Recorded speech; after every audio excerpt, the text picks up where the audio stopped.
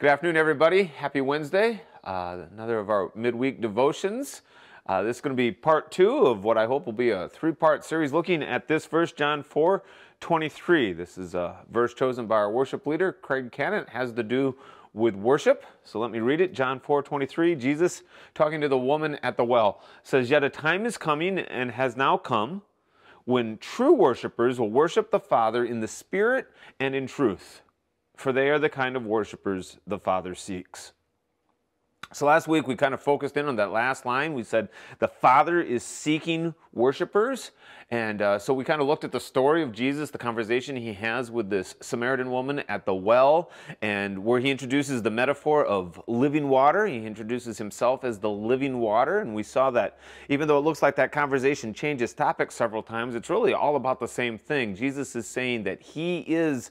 Uh, the solution to our greatest problem, that He is living water for, for our spiritual thirst. And so we said that the great soul satisfier is seeking souls to satisfy. That's, that's what worship is. It's, it's coming to Jesus to have our thirst quenched. So that's what we said. Worshippers are those who will come to Jesus to satisfy the thirst in their souls.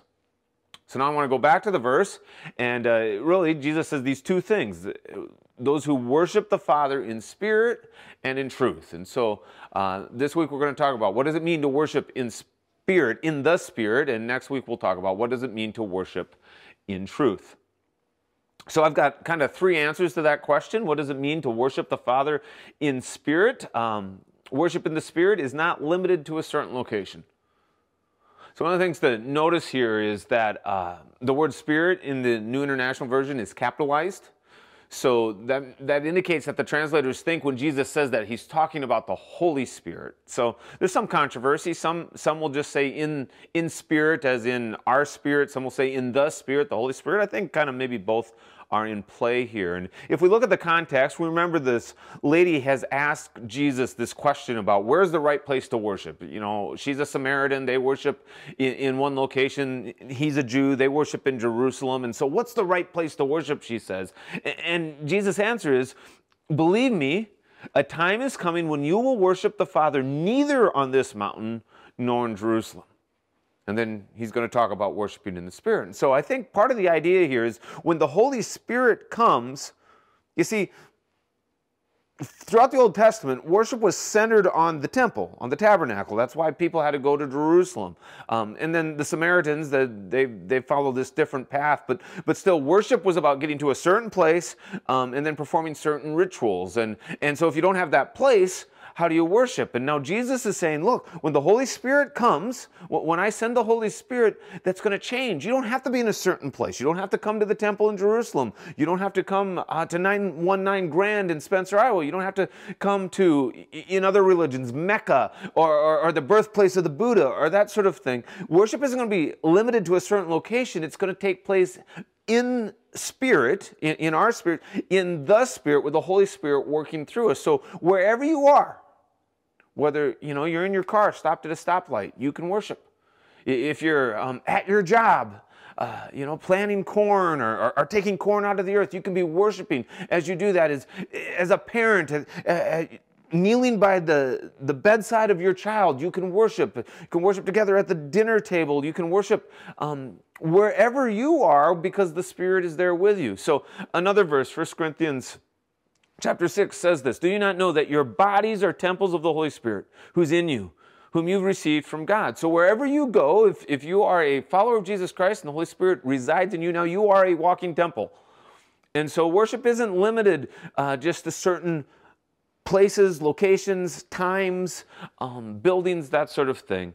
Uh, that's part of what Jesus is saying here. Now, a second answer to the question what does it mean to worship in the Spirit? Worship in the Spirit is more than just going through the motions. And so it's possible, uh, you know, for us to go to worship and then we're going to sing these songs or, or, or we're going to go to worship and we're going to read through a liturgy, a prepared set of prayers and, and readings and that sort of thing. And, and that can be a, those can be important tools in worshiping God, but, but if we are merely going through the motions, if we're merely, merely putting in our time, um, then our worship may mean very little to God. Uh, let me show you a verse here. Jesus quoting from the, uh, from the prophet Isaiah in Matthew. He says, These people honor me with their lips, but their hearts are far from me. They worship me in vain. Their teachings are merely human rules. Jesus says, Look, there is a way for you to go to worship, there's a way for you to participate in the activities of worship and have it mean nothing, have it be in vain. There's a way for you to speak all of the proper words of worship and still have your hearts far from Him. And so when Jesus says worship in spirit, I think partly He's saying is your heart has to be in it. You have to mean it. You're, there has to be emotional uh, connection made that, that you, you're not just going to put your time in, you're going because Jesus is worth it, because you want Him to know how much you appreciate and care and value Him. Think of it like this if it's my anniversary and I buy a dozen roses for my wife Beth and I give them to her and she's, oh, that's sweet, I really appreciate it. And you're like, well, yeah, the calendar says it's our anniversary, so this is sort of something I'm obligated to do. Right? Uh, uh, she's going to take those flowers and throw them away. She's not going to care. That, that's not going to mean anything to her. What I need to say is, honey, I am so blessed to have you in my life. And um, the 27 years we've spent together have been so good, and I just want you to know how much I appreciate and love and value you. So these, these roses are just a small token of that. That, that's what it means to, to honor the Father, um, not just with our lips, but with our actually with our having our hearts in it, our hearts near to Him. So then the third thing, worship in the Spirit is more than just worship. Went ahead and threw that second worship in quotation marks because we have a tendency to talk about, you know, our Sunday morning gatherings as, as time of worship. And, and even more technical than that, sometimes within our Sunday morning gatherings, the time we spend singing, we think of as worship. And so we, we, can, we can begin, and they are, and, and that's proper in both cases to refer to them that way, but, but we can start to think that worship is just this activity that we do when we're singing, or it's just this activity we do when we gather with other Christians in a church building, and, and we'll miss what the Bible has to say about worship being really an all of life activity, an all. Um, an all encompassing thing when we belong to Jesus. So, uh, the verse here, Romans chapter 12, Paul says, Therefore, I urge you, brothers and sisters, in view of God's mercy, to offer your bodies as a living sacrifice, holy and pleasing to God. This is your spiritual act of worship. You see the connection there? He says the spiritual. So, what does it mean to worship in the spirit? Here he says it's, it's to offer your bodies. It's not just a, a um, unembodied. It's not just an emotional thing. It's it's it's an actual physical activity. We're we're we're again we're talking about all of our life. Um, so it's not just what we do when we're in church. It's not just what we do when we're singing songs. It, it's how we treat our neighbor. It's what kind of effort we give at work. It's uh, our witness, our integrity as we go about our day. So Hebrews chapter 13. Through Jesus, therefore, let us continually offer to God a sacrifice of praise. That, that might be what we normally think of as worship, right? The fruit of lips that openly profess His name, singing His name, singing to His name.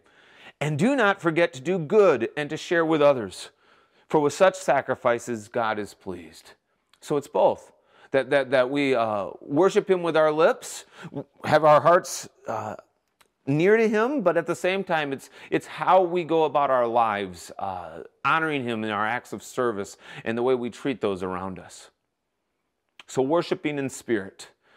It's not limited to a place, time. It's not limited to certain activities. It's really all of our lives. It's, it's a declaration of the worth of God in our obedience to Him, in our praise of Him. It's, it's our hearts going out towards Him because of what He's done, because He's the living water. He's the one who satisfies our thirst.